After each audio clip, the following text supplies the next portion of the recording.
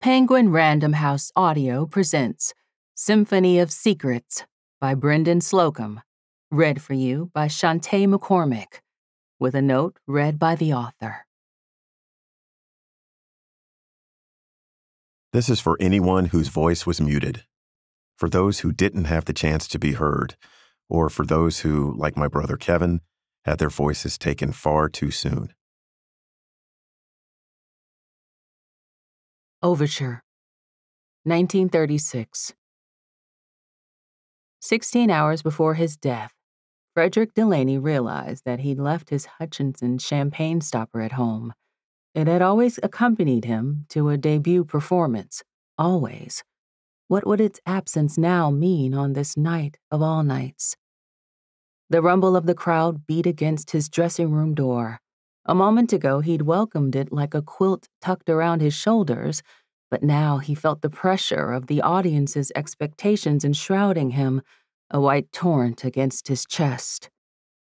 He tried to convince himself that all would be well. He'd order a second bottle of champagne. It would be on hand by the end of the performance. Besides, this was a brand new moment in his life, a fresh start. Maybe it was time for a new ritual anyway a second bottle to symbolize his second chance. Tonight was, without question, that chance. Finishing this last opera had been an arduous journey. He imagined telling Edward Kastenmeier, the Times head music critic, be sure to use the word arduous. But now, looking back with perspective and distance, he could admit that the writing and the rewriting was well worth the agony. This he told himself again, was his greatest creation, and it was, in a word, glorious. He knew it in his bones. He mouthed the word to himself, glorious. He imagined how the word would look in print. This was the music, this magnificent opera that would relaunch his career.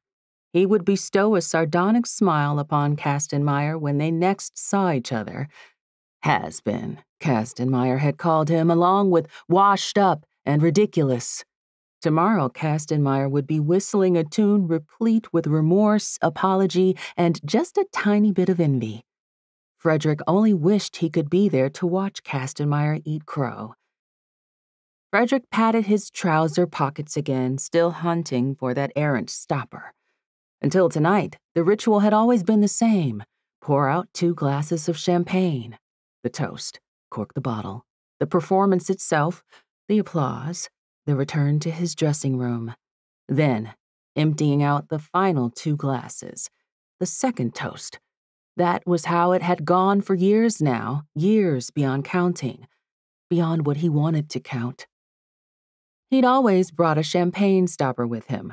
A few years ago, in those heady days that would soon be his again, he used to leave it in his tuxedo pocket because he'd have premieres several nights of the week, all in different theaters. Tonight, a ballet uptown. Tomorrow, a Broadway musical. The next night, a medley in a vaudeville house, and then the premiere for film score. Champagne every night of the week. Pour out two glasses before the performance, two glasses after, and the rest of the bottle, if any drops were left, a sacrifice to the gods. No stopper in the little basket next to the refrigerator. He patted down his pockets a final time, as if a cork would magically manifest inside one. So he'd throw away the rest of the champagne. For a moment, he considered drinking it. That would be one way of making it gone, but of course, that was absurd. He needed to have his wits about him during the performance.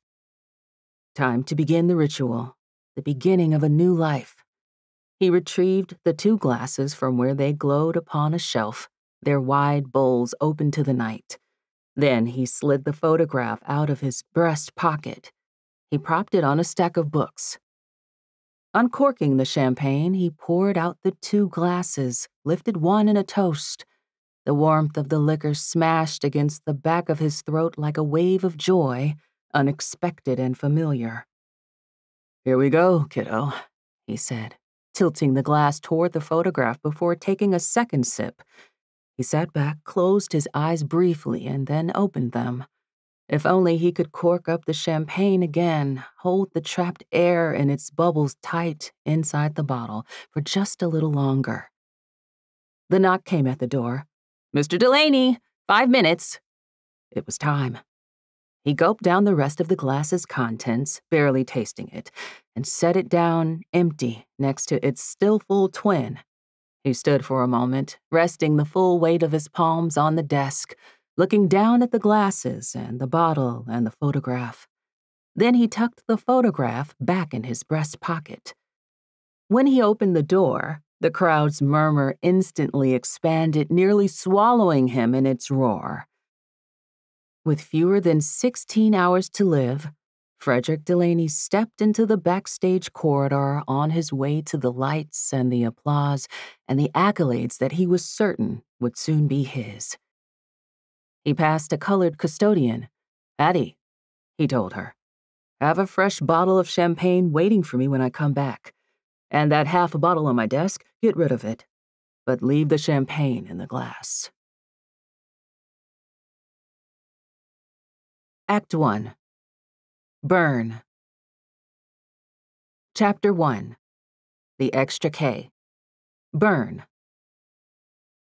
Professor Bern Hendricks was late to class when the sound of an incoming email pinged in his inbox. He'd put on his favorite blue pinstripe short sleeve, but nobody would notice under his jacket, and wouldn't you know, there was a wrinkle right under the pocket. The jacket didn't completely cover it so he'd had to haul out the ironing board and heat up the iron, and that took longer than it should have.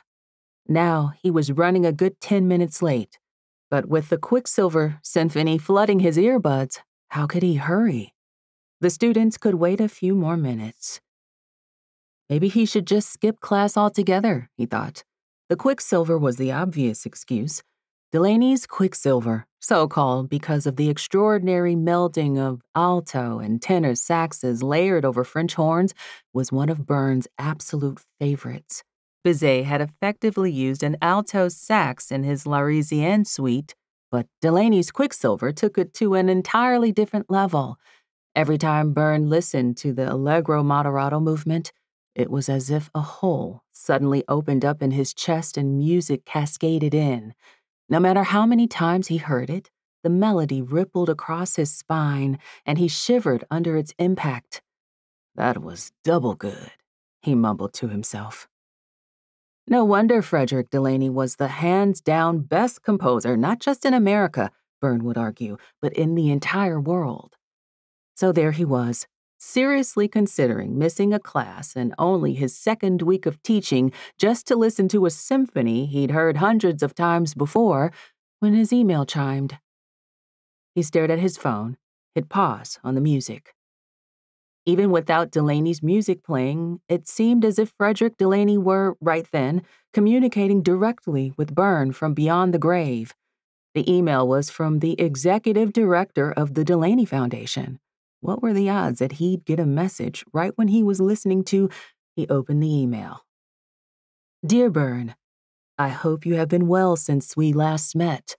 I'm reaching out with a time sensitive matter regarding Frederick Delaney. I know that the school year has just started and you must be quite busy, but would you contact me as soon as you get this? Please call the number below, no matter the hour, from a location where you can speak freely. Someone will always be monitoring this line. Sincerely, Mallory Delaney Roberts, Executive Director, The Delaney Foundation. Right then, he was halfway across the grounds of the University of Virginia, minutes from class. In the shadow of the ancient oak trees, the lushness of the early autumn grass glowed around him. He took a breath, and then another.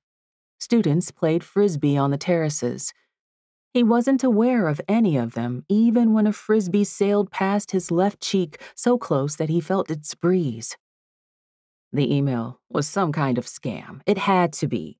Mallory Delaney Roberts wouldn't be writing to him. He doubted she even remembered who he was. She'd met him only a handful of times.